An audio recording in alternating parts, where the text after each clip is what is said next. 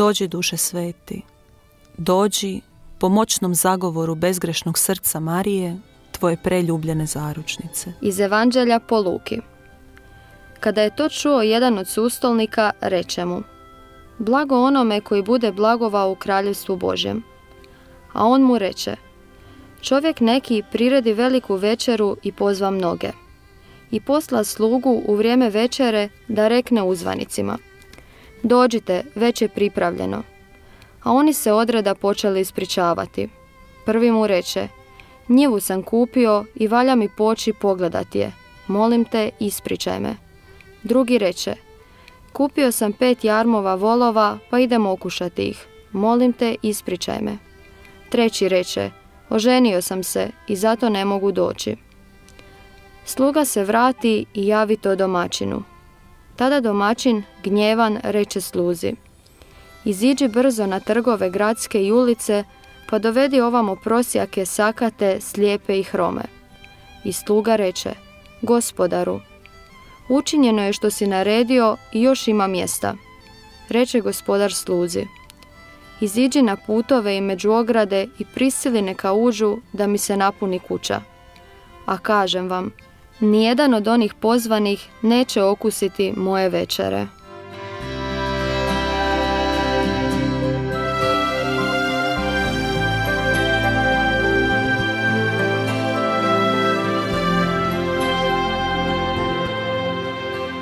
Dragi brate i draga sestro, dobrodošao pod još jednu smoku. Čuli smo Božju riječ koja nam donosi liturgija današnjeg dana, a Božja riječ je živa i otajstvena i neizreciva riječ, o kojoj smo pozvani razumski promišljati, ali ne možemo ju svojim razumom obuhvatiti. Uvijek je važno ponizno pristupiti Božje riječi sa svješću da je to živa riječ koja nadilazi naš razum, a opet se u isto vrijeme i objavljuje našem razumu na način kako možemo razumjeti, barem djelomično, ono što gospodin hoće reći o samome sebi, ono što je on objavio. A u današnjem evanđelju poziva na promišljanje o našoj spremnosti, ozbiljnosti i spremnosti prihvatiti njegov dar prihvatiti dar spasenja, bez pretjeranog odugovlačenja. Na sreću, gospodin naš je prepun blagosti i strpljivosti. Ali danas upozorava da ne možemo od vijeka odugovlačiti i da će dati drugima, pozvat će hrome, slijepe, bolesne, grešne i po njima će se proslaviti.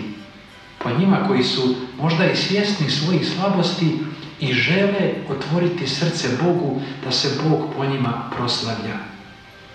Mnogi grešnici će preteći nas, Hrvate, katolike u kraljevstvu Božjem ako se više ne otvorimo gospodinu, ako ne iskoristimo tu posvetnu milost krštenja koja nam je dana.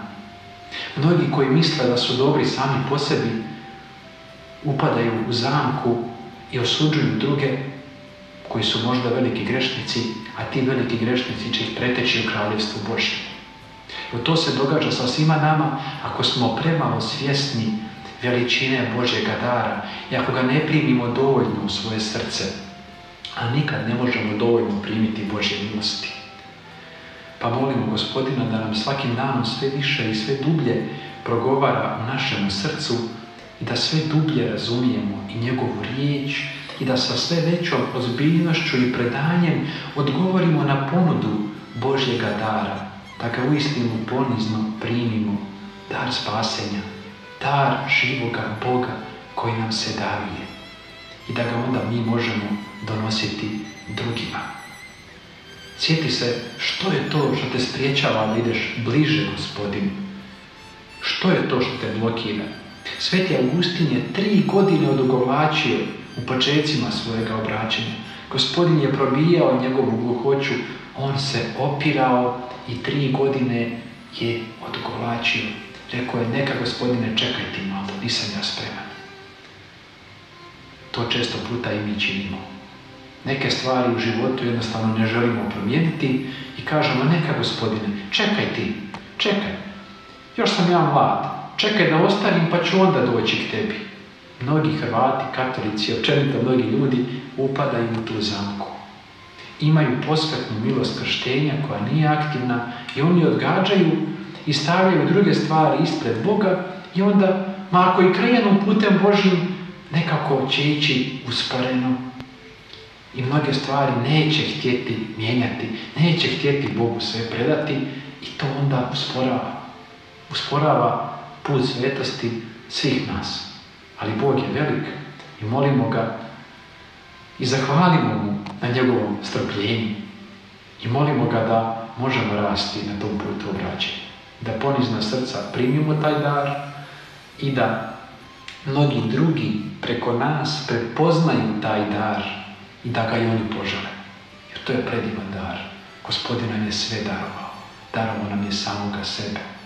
Darovao nam je neizmjernu ljubav, radost i mir u duhu svijeta. Slobodu unutarnju, slobodu srca, slobodu djece Božje.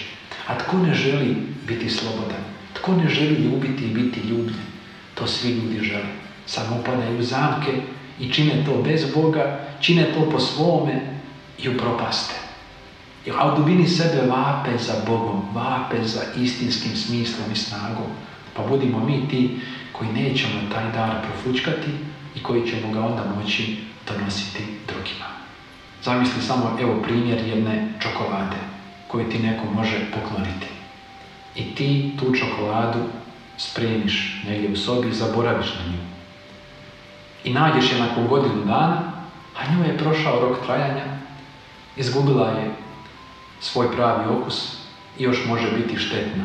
Može čovjeka zaraziti jer se pokvarila. Tako, kada odbacimo Božju milost, kada odugovlačimo i ne želimo je primiti, može doći vrijeme kad će biti kasno. I ne možemo vratiti vrijeme i ne možemo popraviti to što je Bog mogao s nama učiniti u tom periodu, da smo onda primili milost. To je nepopravljivo. Zato, kad odugovlačimo sa gospodinom, budimo svjesni da to možda ima i nepovratne posljedice. Da ćemo se kad tad kajati što nismo ranije gospodinu srce otvorili. Zato otvorimo odmah danas, da bi mogao svakim danom biti sve bliži, sve više njegovoj prisutnosti i sve bliži njemu. Svako ti dobro i Boži blagoslov.